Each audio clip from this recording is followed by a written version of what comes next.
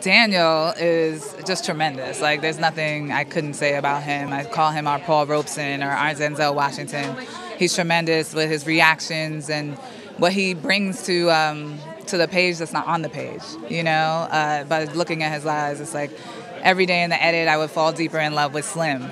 And he really inhabits every character he plays, and that's the beauty. He's been so many different people to us uh, as an actor. And, and you know, Lena and I really wanted to create an opportunity for a new black actress in our industry. It's not something that we get to do often, and we really are are motivated to diversify our industry. And we found Jodie, um, and she's just so layered. You know, she's this confident beauty that is royal in every way. She's very much queen, but then she's also vulnerable, and she's also has these layers to her. And you know, she becomes naked to this man, and, and she brings this joy to the character that I couldn't have imagined if I had wanted to.